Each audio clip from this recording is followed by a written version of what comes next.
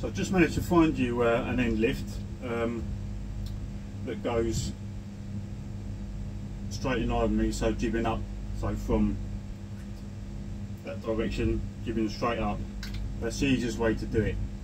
Um, I'll just quickly whip the old camera out because I've just got one and I've got I'm on a window, so I'm at 16 meters roughly now, which is at the end of the uh, window, and the bottom end I know is roughly 12, so it's about four meters. So as long as you know your markers, you know roughly where to get to because it can be awkward otherwise because you've got you know you've got the panel lifting up like that and you've got the chains sort of going at funny angles. So it's difficult to tell where you're going to be.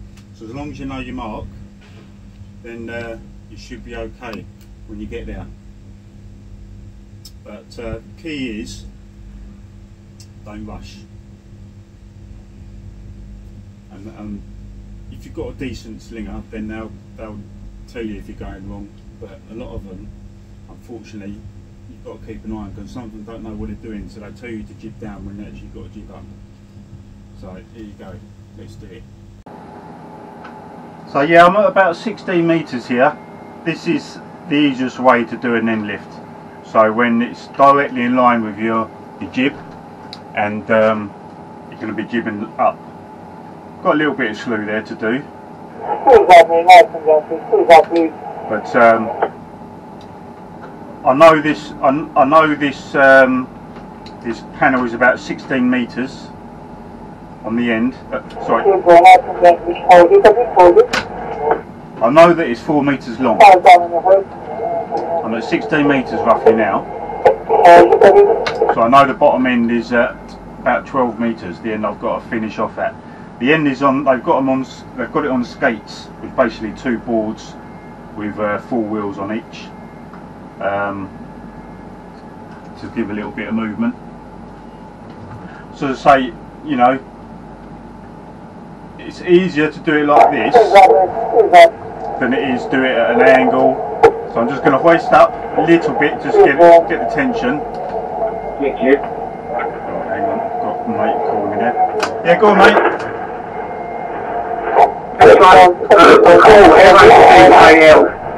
The concrete. Sorry, who's it? It looks like M-A-C-A-L. McCall, I'm sorry. Something like that. M-A-C-A-L. Alright, nice one, top man. Yeah, so it's easier to do it this way rather than it being the other way around, jibbing out, because when you're jibbing out you've got to you've got to jib out and you've got to hoist up as well. You've got to hoist up further than the jib, quicker than the jib, because um, when you when you jib out it lowers it lowers the hoist believe it, not lowers the hoist, it lowers the chains or lowers the load. So you actually have to hoist up quicker than the jib. And it can get a little bit difficult when you've got a slew as well. So this is simple. You just sometimes it's just jib all the way, depending how long the load is. But with this, I've got a little bit of jib and I've got a little bit of hoist. So you just got to keep an eye on the radius. If you know that you're jibbing up too much, if you're almost there, um, if you're almost at your mark, and you and your thing's still quite still quite horizontal. It's you know it's not upright enough, and you've got to ease off on the jib, and you've got to hoist up more.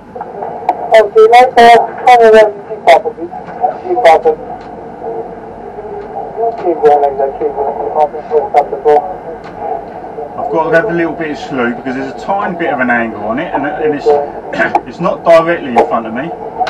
So I've only got a metre left on the jib, not even that now, half a metre. So I'll ho- hoist up more than the jib.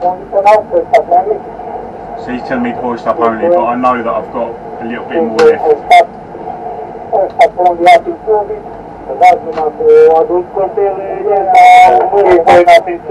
He's telling me to go up in two, but that's too fast.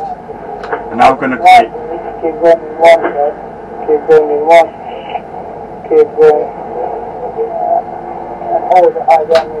and that's perfect. See, he was telling me to go up in two there, and you've got to know your speed because they don't know your speed. So two would have been too fast. That would have that would that would have brought the the far end up too quick, and it, it creates for a wobble. It creates for a lot of swaying. So I'm gonna. What do you say? I'm going to put this in as well, show you how it goes in. Uh, when when you get to near the near the now I'm going to go up in two. When you get to near the end where it stands up, I went into creep there just to keep it stable. Sometimes I even when it's right at the last point where I've got pretty much all the weight. Sometimes I even stop the hoist, stop the jib, stop everything, just to let the load settle a little bit. But that was okay because this isn't a heavy load, and um, the radius. I knew the radius was. always haven't been doing what you see, you can see, and you're doing. The other one. Keep going.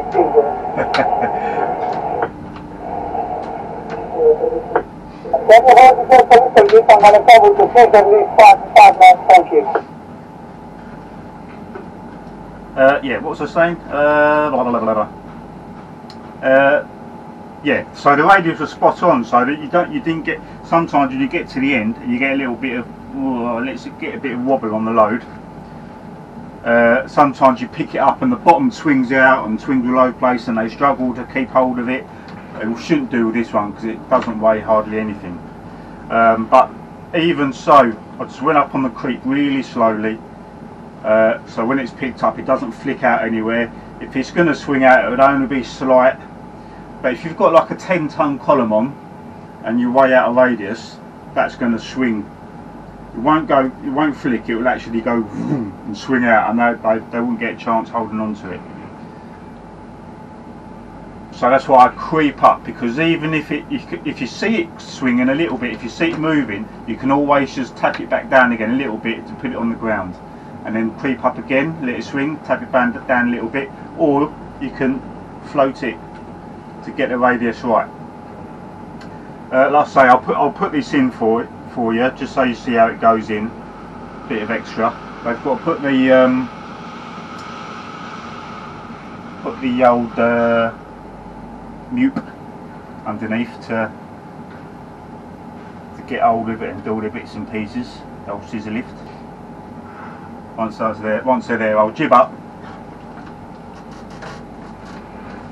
Almost minimum radius, so it's handy this because it's right underneath my cab. I can see everything, I can see what I'm doing. It's a lot more difficult when it's like 35 meter radius and it's almost at cab height, so your your uh, depth perception isn't that great or when it's on a blind lift and you're totally relying on them you know I have got hook cameras but it's not working at the moment and um, you know they're not perfect so on a blind lift it's all about the trust trusting the, the people with the radios on the on the uh, on the ground there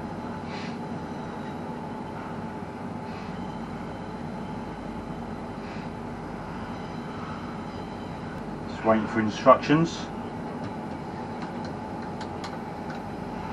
Finger on the trigger, ready to fire.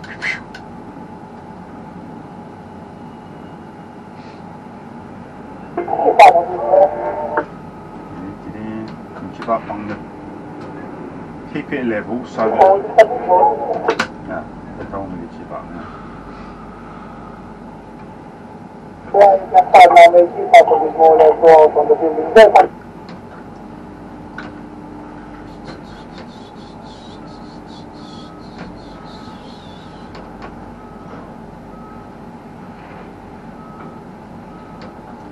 Eight meters. I can go back to about five and a half meters. Five, five and a half meters. That's my minimum radius. I'm in the creep at the minute, which means once I get to about 10 meters in, the jib goes into creep mode. Um, don't matter what speed you're going, it will just creep really, really, really slowly. That's to stop it, the load swinging in. it's two, to- one to stop the load swinging into hitting you, and two, uh, so that when so that when the, the, the jib does meet its emergency brake at the end, it doesn't shock load. Can you imagine?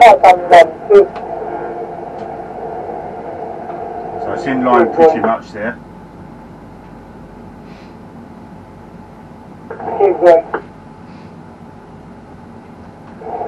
Hold it, hold it. So you've got to be careful there. The, the, bit of a breeze blew it back towards them and it was going to land on the steel there. I had to stop it before he told me to.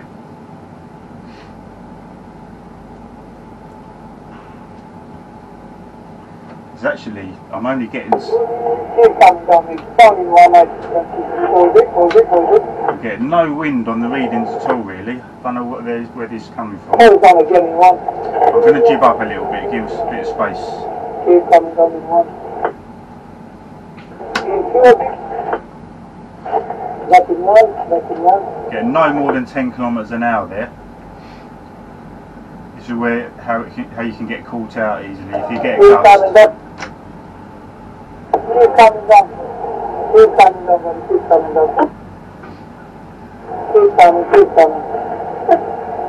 coming.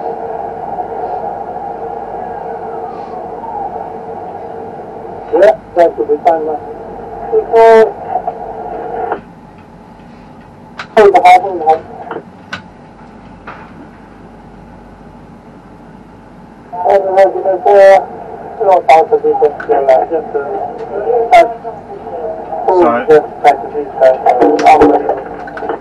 to go out on the jibbing one. Yeah, wasn't watching there, was he, the fella? Go out on the jibbing one and hoist up in creep to float out. If I go up in one as well, it's going to bring the load up.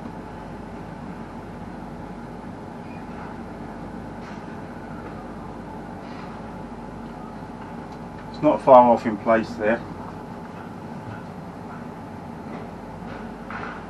Getting 10.4 kilometres an hour.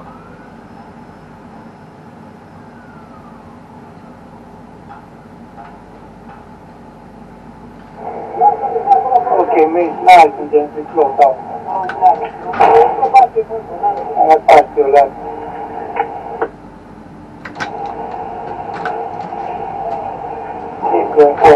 Left. Close out and left.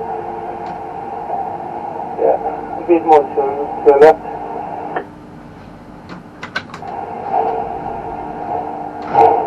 Keep going, close out. Yeah, left again. Yeah, that should be fine. See left a bit more. See left a bit more.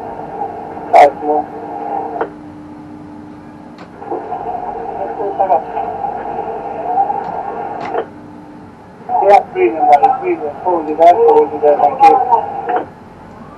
It's pretty much it there. That's in line. Just gonna have to go down in a bit now, so I'll go down in quick. Because I need to get him in the brackets. Keep going. Hold the height. Very warm in this cab, I have to say.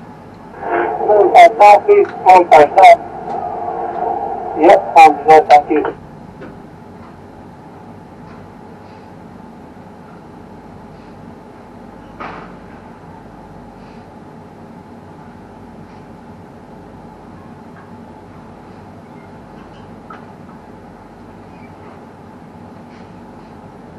So it's just uh, lubricating the um, whatever goes into the brackets there, spraying them, gaskets or bolts or whatever they are, I don't know.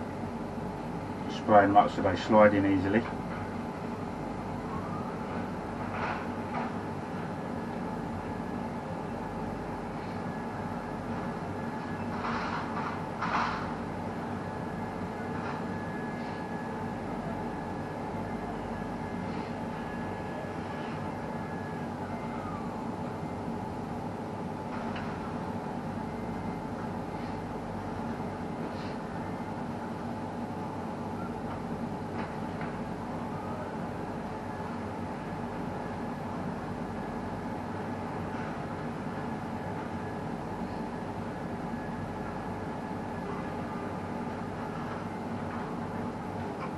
I think I'll leave it there because they could take a while doing this now. They sometimes they've got loads of fiddling about to do.